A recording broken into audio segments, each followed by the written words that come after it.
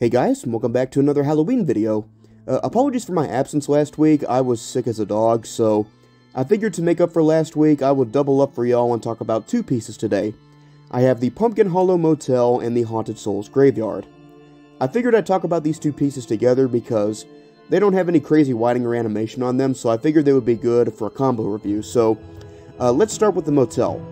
So the Pumpkin Hollow Motel, whenever I first saw this piece when it was announced for 2024, I thought it looked pretty interesting as it looked very much like a Department 56 building, and actually whenever I saw it, it immediately reminded me of the old Retching Pumpkin Diner they did many years ago.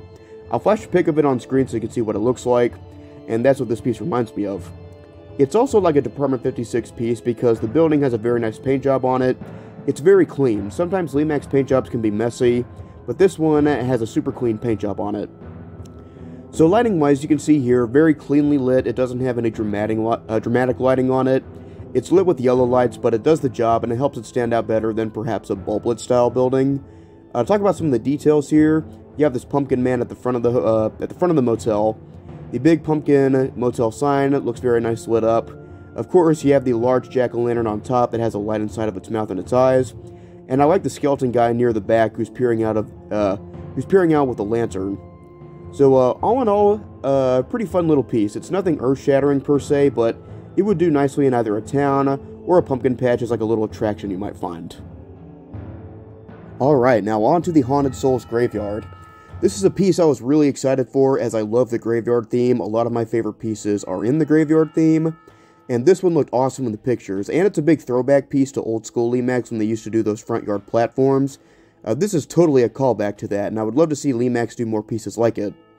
So on to the graveyard itself. You can see here, this is what it looks like when you first get it out. You only have the platform and the uh, fencing, and the rest of the pieces uh, you actually have to add onto it. Now here's all the pieces. Uh, I'm showing you them right now. You can arrange them however you want, but it does look cool how it's laid out in the promotional picture. So these pieces come in these little white boxes that are packed in the box alongside with the platform. And here it is all assembled, a very spooky traditional graveyard. I love how the tombstones have various sayings and jokes on them like Dawn Under, I'm a sucker for the little jokes like that. I dig the monument with the Angels of Death on the side. And of course you have the crypt, which is very reminiscent of the old school uh, Spooky Town Crypt of Sir Edgar Goodbody. And I'll flash a picture of that piece uh, up on screen so you can see what it looks like. So what I also really like about this piece uh, while it looks great as is, you can add other accessories inside it to help amplify it even more. Like in this picture here, um, I added the uh, Michael's Fountain that they did last year, and I think it looks great that way. So I'm a big fan of how you can accessorize it however you want. Alright guys, so that's the that's my review of the Haunted Souls Graveyard. An awesome table accent, and a must-have for any graveyard scene. Alright guys, so that was my uh, double up review. Thank y'all so much for watching. Again, apologies for last week's absence. Feeling back to normal again, so looking forward to getting back on the season.